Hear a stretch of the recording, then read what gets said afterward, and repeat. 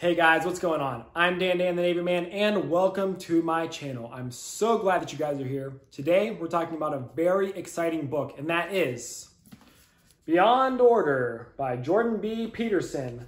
This book came out just a few months ago and everybody is so excited that it has come out. We weren't sure if he was going to be releasing another book and he has and here it is. And so I'm so glad to be able to talk about this book with you today. So buckle up and let's go. My goal today is not to just read this book to you, but I do want to talk about Jordan Peterson, some of his other books, and the key ideas that I think are foundational to the writing of this book. So Jordan Peterson is a pretty popular philosopher. He's a university professor and he's become a public figure and an icon. The people that generally listen to his lectures and read his books are people that want to yes, just learn because he does have a lot of very interesting little tidbits of information that he gives out. But generally, people that listen to his lectures and watch his books are people that want to develop personally, people that see that they are deeply flawed and want to learn more about the world around them and themselves and how they can grow and change their lives to be better, more functional, happier people.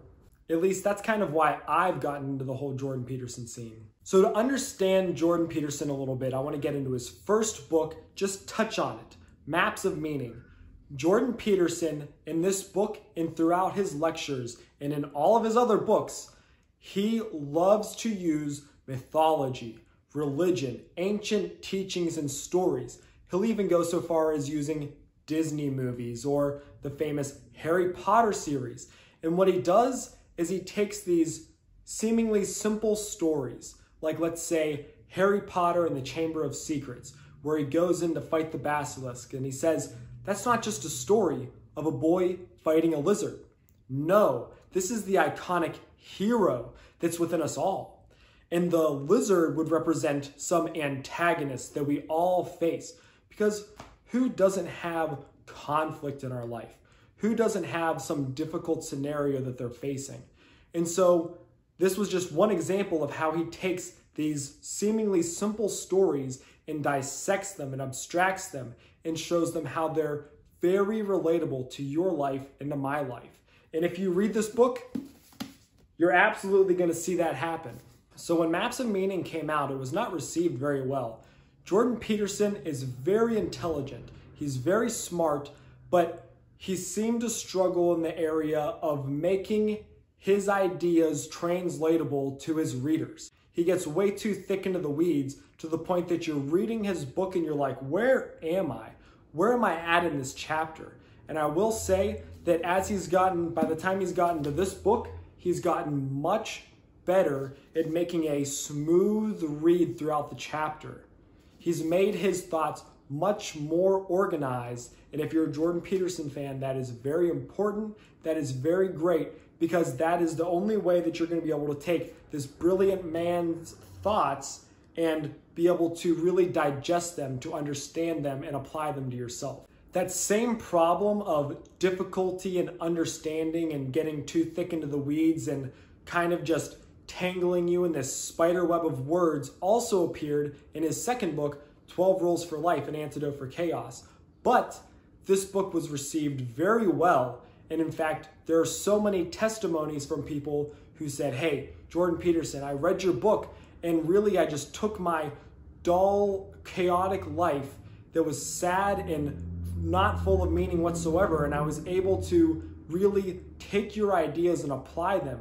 And I've been able to create a little bit of order in my life, and I'd be able to become the iconic hero in my own story. That's just absolutely amazing. Any author can say, hey, do this and it'll change your life. But not every author can actually get the same results that Jordan Peterson has been seeing. Like they say, the proof is in the pudding. And so his second book was much more well received, but you definitely get lost in the sauce whenever you're reading about lobsters and fighting each other and all these other things that he seems to have resolved in his third book, Beyond Order. 12 more rules for life. So now we're on to Beyond Order, 12 more rules for life. Once you get into the foreword, Jordan Peterson says, yes, these books go together, but I don't want them to need each other. His intentions were for every individual book to be able to be read solo. You could just read Beyond Order without reading 12 Rules for Life and Antidote for Chaos. You can read this book by itself or any of his other books by themselves and be able to learn something and gain something from it. You don't need the other books as a crutch or as a foundation. But I think that it is worthwhile to build that foundation because you can sort of learn how he thinks and how he speaks and his little nuances, and it makes it much more enriching whenever you go to read this book. So, we're talking about Beyond Order, we're talking about the foreword. And the foreword is so vital to the rest of the book because it talks about the place that Jordan Peterson was in while he wrote it. If you follow him at all, you'll know that he was having a lot of family health crises, he was having his own personal health crisis, that he was struggling from benzodiazepine withdrawal, that he was dependent on it. He went from hospital to hospital. They even induced him into a coma for a period of days. And that struggle, that suffering really comes out into his writing because Jordan Peterson doesn't just believe that hardship is just something that smacks you in the face and that's the end of it, but it, there's something deep and meaningful to be learned from suffering because he thinks there's something deep and meaningful to be learned from most things. So, like I said, I'm not just going to read this book to you. This is something that I want you to jump in on your own. And I think that it would be very beneficial for you to read Jordan Peterson's book. Specifically, today we're talking about Beyond Order. So, to give you a taste, I'm going to read off his chapters and then we're going to talk about it a little bit. So, rule number one do not carelessly denigrate social institutions or creative achievement. Rule number two imagine who you could be and then aim single mindedly at that. Rule number three do not hide unwanted things in the fog. Rule number four notice that opportunity lurks where responsibility has been abdicated. Rule number five do not do what you hate. Rule number six abandon ideology. Rule number seven work as hard as you possibly can on at least one thing and see what happens. Rule number eight try to make one room in your home as beautiful as possible. Rule number nine if old memories still upset you, write them down carefully and completely. Rule number 10 plan and work diligently to maintain the romance in your relationship. Rule number 11 do not allow yourself to become resentful, deceitful, or arrogant. Rule number 12 be grateful in spite of your suffering.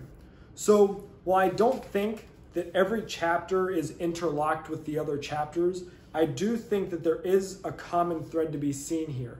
And it is really just the basic principle of growth through suffering. In the Navy, our motto is forged by the sea. And we say, smooth seas never made a skilled sailor, which pretty much just means if life's easy, you're not growing. Jordan Peterson is all about the individual taking an inward look at oneself, seeing flaws, fears, etc., and conquering those things and growing. And one thing that really pushes you to grow is suffering. Suffering can easily take you from a place of peace and order where you're just content and still and push you over to the other side, chaos, where you're forced to battle giants and do great things. Like I said earlier, Jordan Peterson is all about mythology and religion and ancient stories and abstracting them and making them relevant in today's life.